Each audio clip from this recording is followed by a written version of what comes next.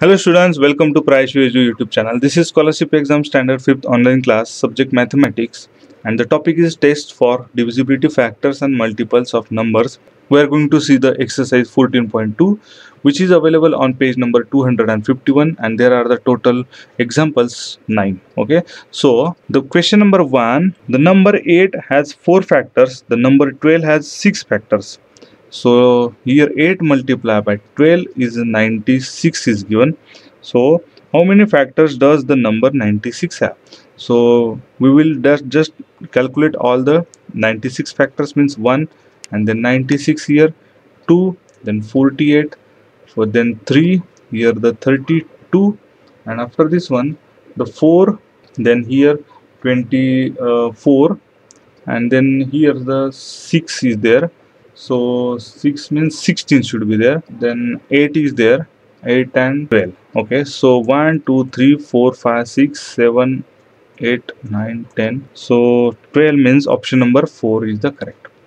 Now question number 2 which of the greatest 5 digit number formed by using the digit 5 then 6 then 7 8 and 9 only once so 9 should be only once we have to use and divisible by 8 so the criteria should be divisible by 8 so now the condition is it should be divisible by 8 means that number should be form of having the even number. Okay? So 5 digit number we have to form. Suppose this is a 5 digit number.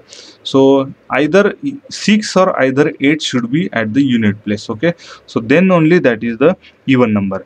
And if suppose here the 6 and the 8 we have taken so in a multiples of the 8 which number having the unit 6 uh, in their unit place? So there is a 56 is there okay? There is a uh, then uh, 16 also there but one digit is not here. So from this criteria if suppose 5 if you're placing here 56 means yes it can be. If you place the 7 here that 76 comes. So it cannot be divisible by 8 and if you place the 96 here so yes it can be divisible by 8 but 9 should be we have to use at greatest one because we have to form the greatest 5 digit. If we use the 9 here number may be the smaller one. So we will choose 56 here okay? And then 8 we will here because the 8 uh, divisibility says that last three digit number means 100 then tens and the unit place digits forming number should be divisible by 8 and now 856 can be divisible by 8 okay? So uh, remaining should be the only the 7 digit. And this 7 we will replace here. So the number forming is 97856 so this is the greatest one. If we replace this 7 and 9 here it is not the greatest one. So that's why this criteria we will not use. We will use the 97 here okay?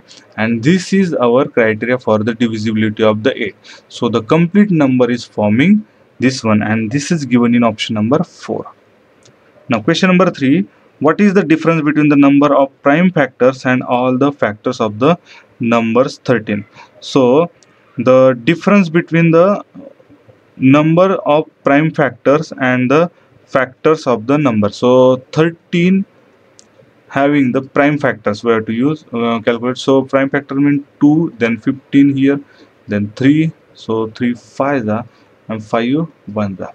so prime factor means 2 3 5 so here the total counting is the 3 1 2 and 3 so factor here for this 31 and then 30 then 2 and 15 then 3 and 10 so 4 should not be then 5 and 6 after this one 5 6 7 8 nothing is there. So 1 2 3 4 5 6 7 and 8 so counting is the 8 so 8 and 3 having the difference 5 and 5 is given in option number 2 now question number 4 how many factors does the number 45 have? So 45 factors we have to calculate. So means 1 and 45 then uh, after this one the 2 should not be. So 3 15 3s are and then 4 should not be 5 5 and then 9s are after this one 6 7 8 and 9 already taken. So okay. 1 2 3 4 hmm. 5 and 6 six factors are there. 6 is given option number 4 now question number 5 which of the following numbers have only two factors? So the main criteria of the two factor means that should be the prime number because every prime number have the two factor means one and that number itself okay? So suppose there is a five. Now now we will take this five digit five is the prime number. So five having the factor one and that five itself okay? If suppose there is a nine this number if you take. So one and nine and then after the three also there and uh, okay the 3 is there. So means 2 more than the 2 is there okay? So this is not a prime number. So the 2 factor means that is the prime number. So there is the which of the following numbers have only two factor? Means we have to choose uh, the prime number from the options that is the meaning. So option number 1 is the 73 yes that is a prime number. Then 75 77 and 81 are not a prime number. So that's why option number 1 is the correct one. Now question number 6 how many numbers between 10 and 30 having only two factors?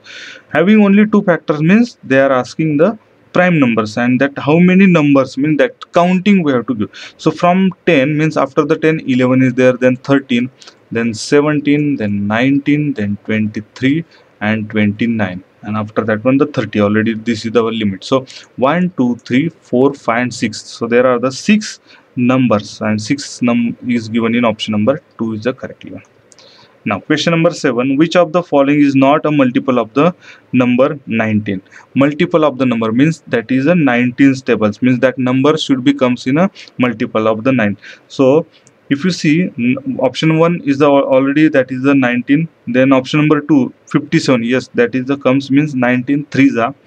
Option number 375 never comes in a 19 table. So option number 3 is correct.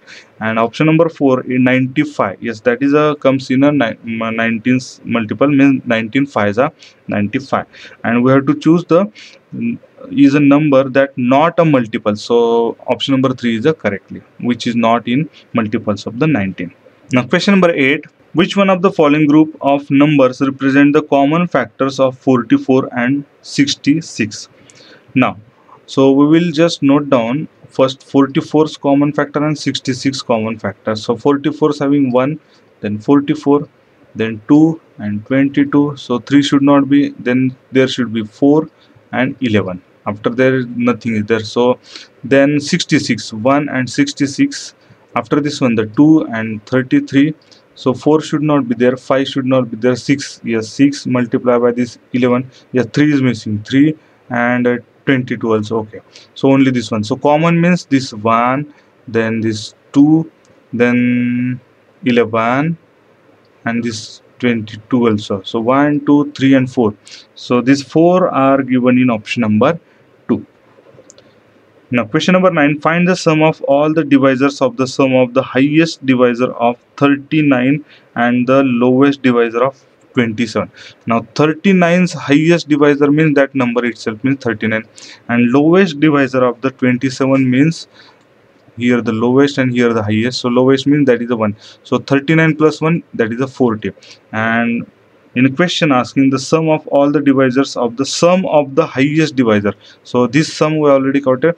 So 40 divisors additions we have to take. So 1 and then 40 then 2 and then uh, here 20 then 4 then here the 10 and 5 then 5 8 so additions we have to take. So 1 plus 2 3 plus 4 7 plus 5 12 plus uh, 8 20 20 and this 20 40 and this 50 and this 90 so 90 is addition and 90 is given in option number 2 thank you